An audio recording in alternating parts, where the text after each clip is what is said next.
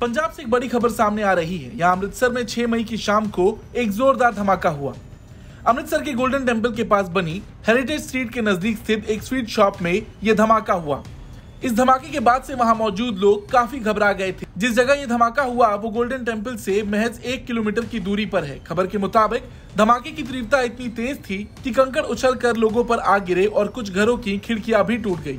हालाँकि धमाके के बाद फॉरेंसिक टीम पहुँची और जाँच में जुट गई। पहले तो ये बताया गया कि चिमनी की वजह से ये ब्लास्ट हुआ। ऐसा कहा गया कि मौके पर पहुँची पुलिस ने जाँच की तो पता चला कि यह धमाका एक स्वीट शॉप की चिमनी में हुआ था।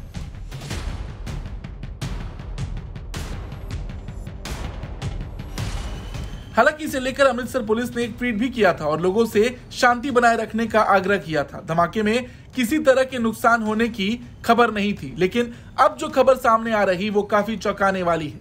अमृतसर के सचखंड श्री मंदिर साहब के नज़दीक जो धमाका हुआ था, उसमें अब नया मोड़ सामने आया है। अमृतसर के DCP law and order Parminder Singh Dal का कहना है कि देर रात जो धमाका हुआ था, उसमें अब तक यह लग रहा था कि वह चिमनी ब्लास्ट है, पर रात होने की वजह से वहाँ से कुछ पुलिस को मिल नहीं पाया था। लेकिन सुबह होने पर पुलिस को वहाँ से कुछ टुकड़े बरामद हुए हैं, जिसकी जाँच के लिए अब मोहाली से फॉरेंसिक टीम बुलाई गई है, जो उनकी बारीकी से जाँच कर साफ़ करेगी कि यह धमाका किस कारण हुआ था।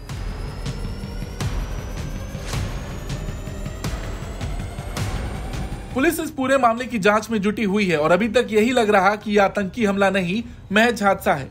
मगर अब जो कुछ टुकड़े मिले हैं जिसकी जाँच के लिए मोहाली की फोरेंसिक टीम बुलाई गई है, उसकी वजह से काफ़ी हलचल है और लोगों में थोड़ी घबराहट भी है। खैर, गनीमत यही है कि इस हादसे से किसी को चोट नहीं आई। बाकी समय के साथ जो जाँच में आएगा, उससे ये पता चलेगा कि ये महज हादसा था या फिर आतंकी साजिश। ब्यूरो रिपोर्ट, भारत तक।